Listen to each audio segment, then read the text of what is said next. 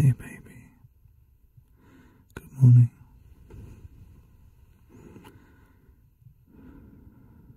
Did you sleep well? I really hope you did. I, uh, sort of didn't.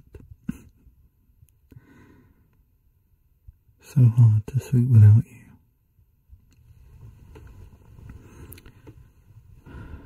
It just doesn't feel right. I'm sure it'll get easier, and I know you're not away for that long, but I just didn't expect it to affect me this much. On the first night, too. You know, for a little bit I was almost looking forward to it. Like, oh yeah, an evening all to myself and a bed to myself. Imagine all the, the room I'll have. I'll be able to spread right out. But all I've been able to think about is how much I'd rather, you know, cuddle up with you and just be nice and cozy in bed. I miss just the feeling of your presence there. When I first woke up, it just felt like something was really wrong. Like, before my brain had fully switched on, I could tell there was something missing. It was like a instinctive feeling that something wasn't there that should be. And I, it immediately made me feel so sad. I feel so stupid. I feel so, I feel so needy. I just, yeah, it was that, that instinctive feeling when I woke up that you weren't there. And I turned over and you weren't. And it was like, you know, if you, you know, when you have a dream or a, a bad dream,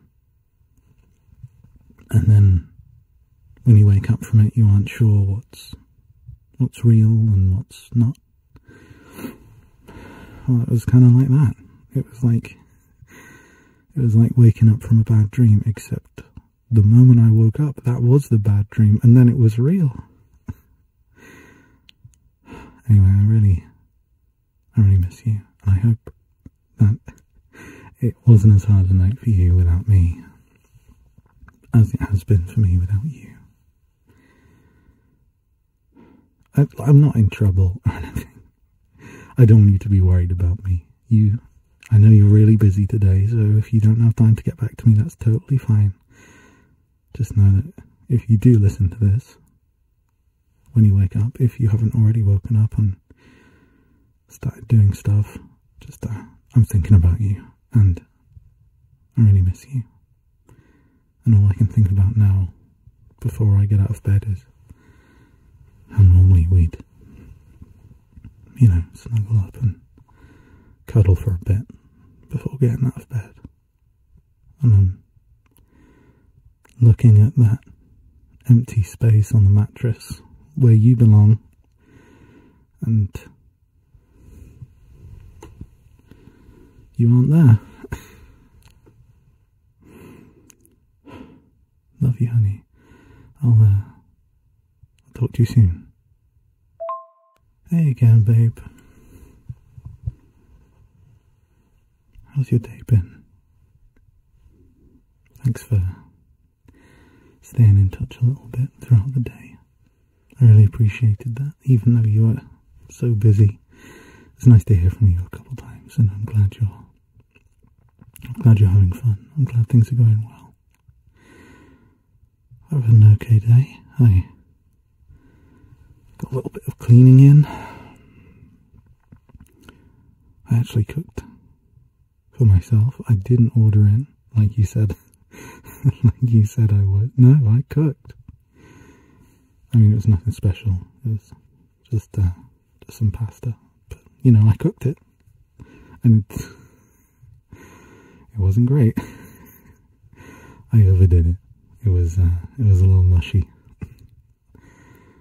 I I miss you, but hey, at least I uh, at least I did a good job on the washing up. You know, like I always do.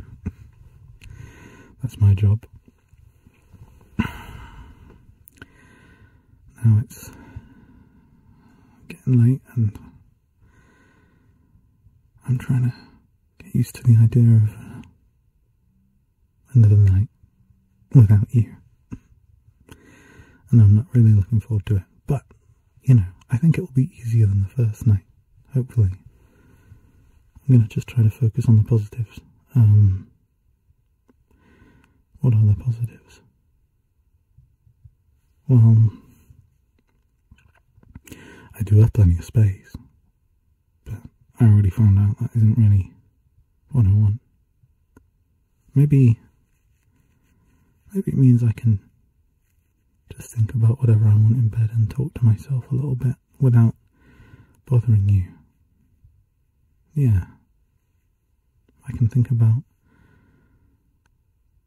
what we might do if, if we were together. If you were here, I'd, I'd be able to touch you. And I'd be able to feel how soft your skin is. And your heartbeat. And I'd be able to I'd be able to smell your hair. Which in any context other than this might be a little creepy, but I think it's okay if you're sleeping next to someone to smell their hair. It is okay, right? I mean, I love the smell of your hair, so try and stop me.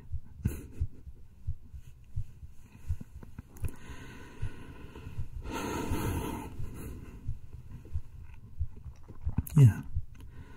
I'm just going to imagine that you're right here, next to me, in bed.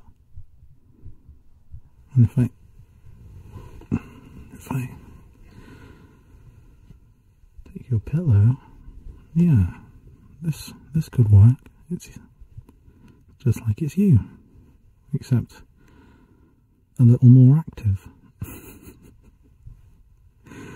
Only kidding.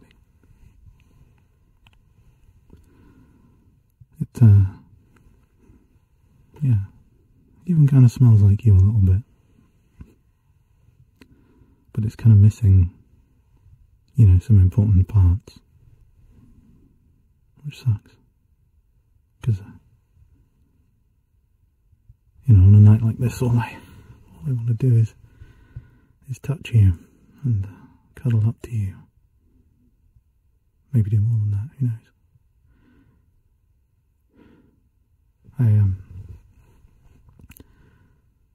I don't mind if you're not thinking about me. I know you've got lots going on.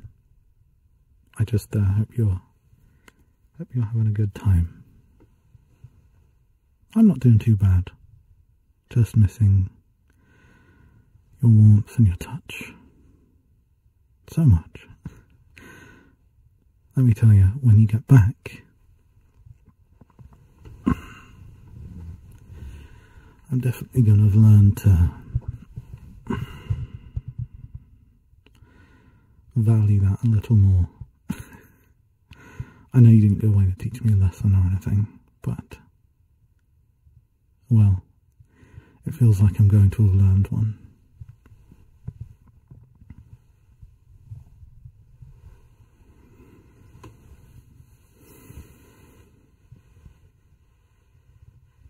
Just realised I'm still dressed.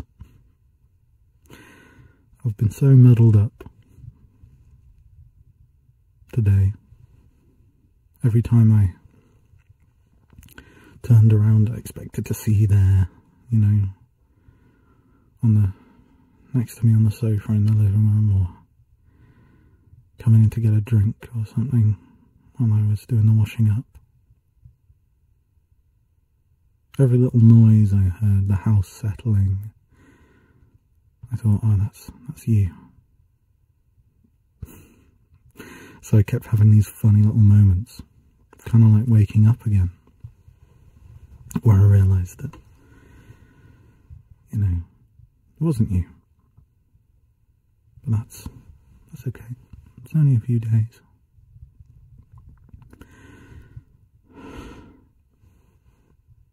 Really love you, hon. Can't wait to see you again.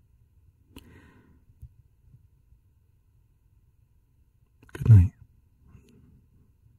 Sweet dreams. Hey, honey. I'm sorry, it's another silly little message from me, but I just can't sleep. God, what time is it? Like 3 a.m.? Yeah, it's 3 a.m. And I keep having these moments where I'm I'm almost asleep, but then you know what it feels like you're like you've onto your mattress and you're suddenly like, oh, you jerk awake. That doesn't usually happen to me all that much, but I don't know. I'm just really on edge. And you not being here, it's like, I think it's,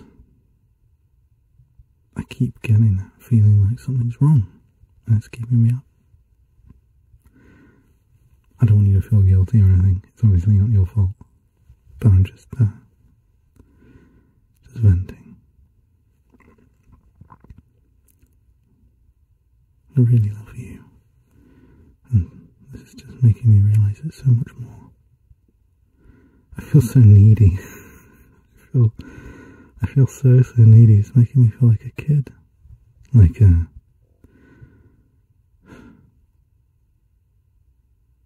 You know at the start of a relationship when you're really, really clingy with someone and then you kind of mellow out and everything's okay and you reach a kind of equilibrium like we've had for so long. This is just making it feel like it's right, at, right at the start of the relationship again. It's almost nice. This intensity of feeling, you know, missing you so much. If I've ever made you feel like I took you for granted and assumed you'd always be around, I'm sorry. And